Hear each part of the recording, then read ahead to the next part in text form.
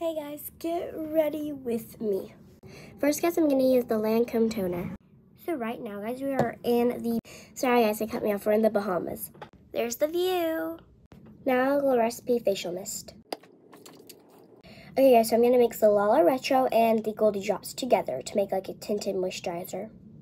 Later today guys, we're gonna go off the boat. I'm really excited to explore. I'm just gonna put a little bit of concealer under my eyes. Also guys, make sure to like and subscribe. Now I'm gonna do some blush. Guys, if y'all have never been on cruises, I definitely recommend it. They're really fun. Now I'm gonna do a little bit of highlighter. Look how gorgeous this is. I got it on the boat and I'm just like so happy that I got it because I've been wanting this forever. Last guys, a little bit of lip oil. I got this one off of Amazon and I really like it. Well, bye guys. That's it. Peace.